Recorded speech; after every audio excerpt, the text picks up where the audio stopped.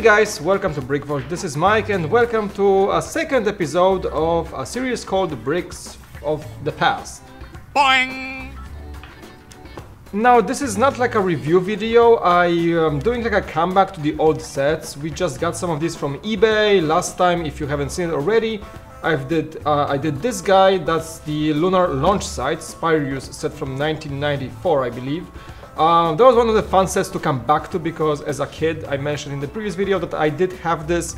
I had a blast playing it and it was such a cool comeback for me to, to witness and like to just remind myself how cool the bricks were back in the days. Today I'm doing a different set from Spyrius. I just want to take a look at this one. Um, Jack was promising to make this one after I did this one, but he's not here, so you have to deal with me now. I don't know, he's on vacation. Anyway, that's that's this uh, Centurion Saucer or Saucer Centurion from Spyrius 6939 is the set number. Small set, uh, it's actually comparable in size to this guy. And uh, yeah, without further ado, let's just get this guy into the Lightroom and take a look what that beam was all about back in 1994. Let's fly it!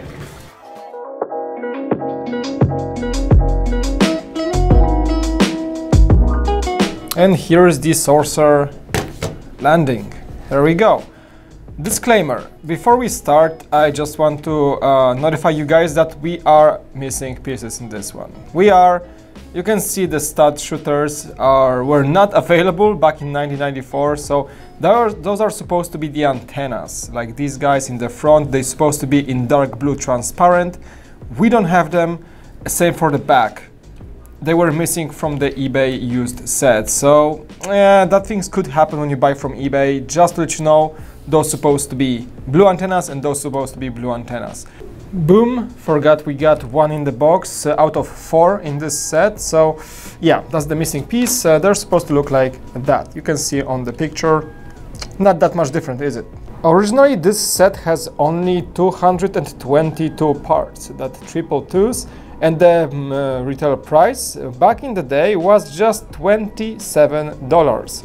Well, you gotta factor in the, uh, the buying power of the dollar back in 1994, and also basically Lego was cheaper back in the day. So for $27 nowadays, uh, well, I guess you can get such set because if the price to piece ratio remains at ten dollars, ten piece, sorry, ten uh, cents per piece, then you've got yourself a twenty-seven dollar equivalent of today's standards, kind of. What the set was is was a massive saucer for me back the, as I was a kid. I think I got this one when I was like 9 or 10. Uh, the main function was to drop the buggy. It was really cool. Technic elements were holding it together. There was like a tile slider in the middle and in the back. And the Technic pin was just holding the both uh, of the halves of the ship together. And when you pulled it apart, you got yourself a small buggy that was dropping out of the second canopy. Normally, this would be where the second pilot resides, but they made it so that the buggy fits in, and once it's there, you got yourself a second uh, pilot in form of the droid. This minifigure was actually the most common minifigure from the Spyrius Dim in, uh, in 1994. It had all the cool things that you would expect from a spaceship uh, in that somewhat of an 80s era nostalgia space, if I may. Uh, the coolest thing probably was the drop function I showed you before, but also it had the crane arm. This thing was able to hold a minifigure. Let me see if I can get this guy out of there and get him into the arm. That was made to like either hold a minifigure or some stolen data containers that Spyrius was stealing or some sorts of things. You never got anything beyond that small buggy. I wonder if that buggy even fits in there. I don't think it does. Maybe, maybe if I grab it like that and like try to maybe... Actually, it is working, so you can actually grab the buggy. It's not holding very well, but still, it was some sort of a play feature that you could, well, uh, enjoy to some point, right? And I just noticed also that one of these elements is not right. It's supposed to be black. But hey, that's what you get when you buy a used set, okay? I don't really mind. I'm gonna search for that one in the studio once I have a few more moments. But now you gotta deal with that, what we have. Uh, still, uh, I mentioned in the previous video that they had the arrows printed, so it was showing basically all the functions of the set. Any moving parts were shown by bricks, so kids can just recognize the functions and just, well, have fun with it without thinking too much, I guess. Um, the prints that were for Spyro specific sets were this guy, like the tile with the computer. It was very Spyrusy. The overall theme of this black, red, and silver was uh, consistent among all the items from Spyrius. I wish to do really a next one is the Robo Guardian set, the bigger robot that was my favorite from the whole wave and uh, I wish we're gonna get him at some point in the future so I can show you guys uh, this one as well. I think that theme is a good way to start basically with that uh, Bricks of the Past series that we have in plants. Uh, you don't see those pieces anymore. I mean, those are quite uncommon right nowadays if they even appear in the sets currently. This is somewhat of an antenna piece. Um, those guys I mentioned, they never appear again uh, in today's sets, the triple connection uh, elements. Uh, these are kind of rare. I mean, you have them still, but they are not as used as, as they used to be. Um, and otherwise, I think the fairly fairness of the remainder of the set is quite common. Those like uh, vertical um, stabilizers are somewhat appearing in city sets nowadays, so they're not that uncommon.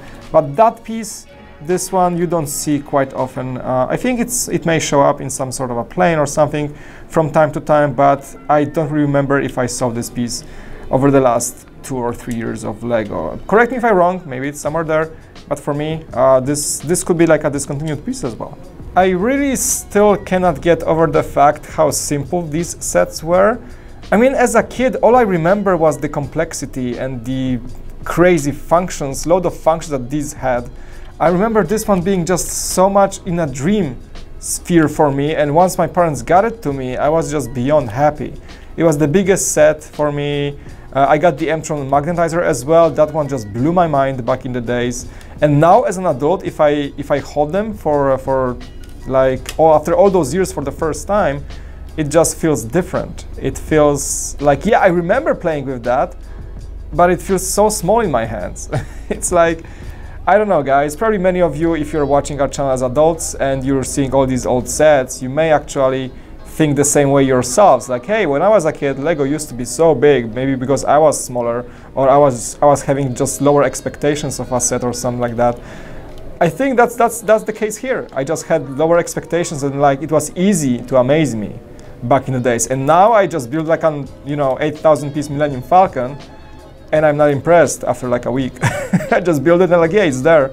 And we have so many big sets in the studio that you don't really appreciate the old sets anymore. And you don't really appreciate the small scale they were, they were um, in and the amount of fun they delivered. And this is a great example for Spyrius to just show you that that's what kids used to play with. that's what I that's what I used to play with and it, it, delivered. It was all I dreamt for in a Lego set. And now you get all these fancy Bugatti Chirons and you don't see that again, right? Well, that's a memory lane for me, uh, a trip down the memory lane and uh, a good, I guess, thought to hold. And those old school style manuals, they were fun. I mentioned also that they did not show how many bricks you needed for each step, so you had to figure it out on your own. It was easier to skip steps because of that. Well, I guess it just required more thinking process to build a set properly without having like lists of bricks for each set that you rely on so much nowadays. So just a reminder that you guys have it, everybody, we guys, you guys, have it easier nowadays building Lego. Yeah, definitely this was the same graphical process, but a bit different approach with uh, just showing how the set progresses each page without mentioning how many bricks you need. And there was no bricks uh, list in the back, so you, when you lost something, you had to figure out what it was. And I think we're gonna finish this trip down the memory lane on this mark remark. Used to be Lego used to be different back in the days, and uh, used to incorporate a bit different approach, right?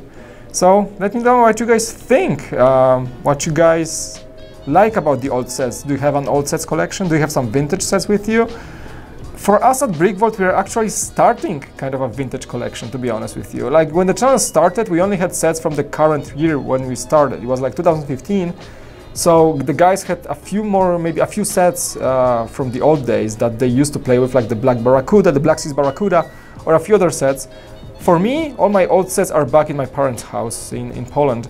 And uh, here I just uh, try to come back to those sets and I think uh, we're gonna try to get a few more sets to show you guys and uh, to appreciate in our studio with all the new stuff that we have. Uh, definitely gonna be a section that we're gonna be coming back to and I hope you guys will enjoy it. Let us know in the comment section maybe what you want to see in the next um, episodes of Bricks from the Past.